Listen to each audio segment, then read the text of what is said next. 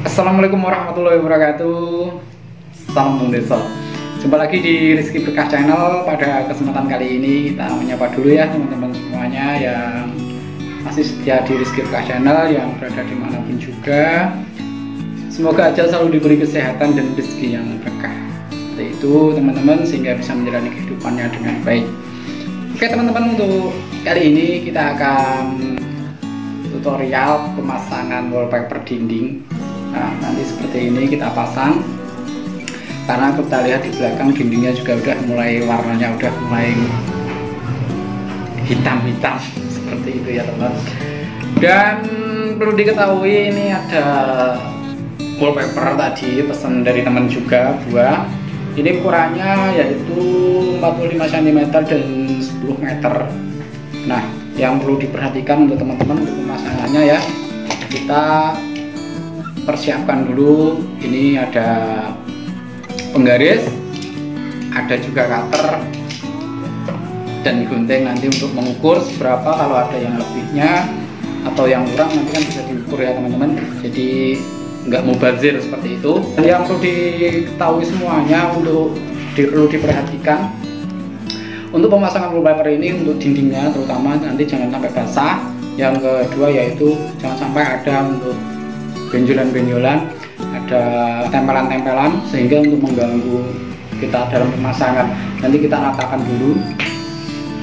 Seperti itu untuk dindingnya biar nanti kita dalam pemasangannya pun juga enak. Dan kalau basah nanti untuk pemasangannya sendiri nanti akan sangat sulit. Untuk tingkat lemnya lemnya untuk menempelnya nanti nggak awet kalau ada airnya seperti itu. Dan untuk warnanya sendiri ini sangat bermacam-macam sebetulnya dari sana ada yang 3D ada yang berwarna ada yang seperti ini. Cuman tergantung selera kita. Kalau saya suka yang simpel jadi cukup hitam dan putih. Nah, mungkin nanti bisa memberi warna yang beda di dinding kita. Seperti itu ya teman-teman. Jadi terus nanti silahkan seperti apa kita lihat pemasangannya. Yes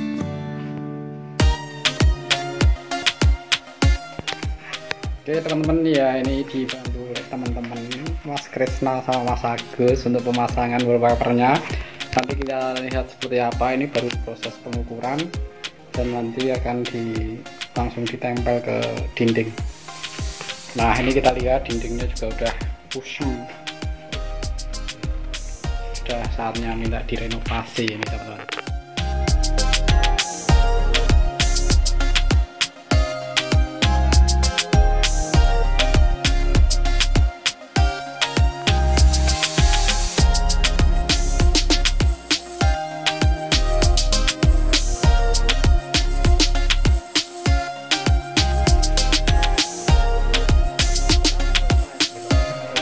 untuk pemasangannya cukup rumit juga nih ya teman-teman karena motif bunganya kita harus itu menyesuaikan antara garis satu dan lainnya beda lagi kalau garis-garis nanti mungkin lebih mudah lagi karena ini motif bunga jadi agak susah tapi tetap bisa oke okay.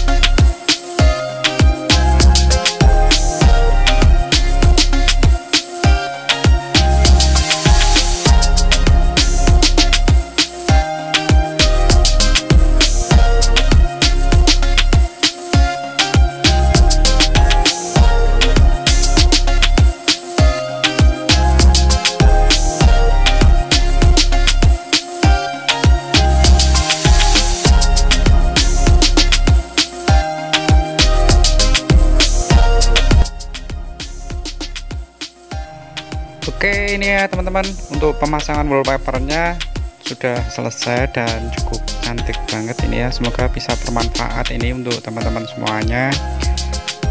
Dan sampai jumpa di lain waktu. Assalamualaikum warahmatullahi wabarakatuh